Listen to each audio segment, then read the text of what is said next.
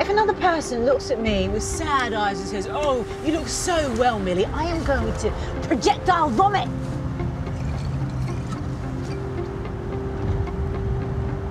Was I awful?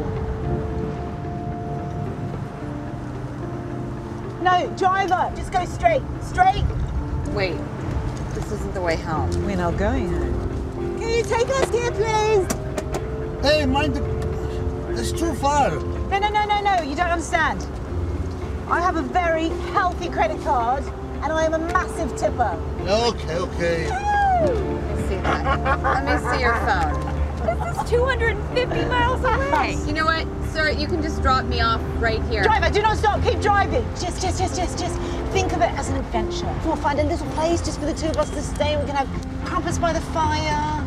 Come on, it's my birthday.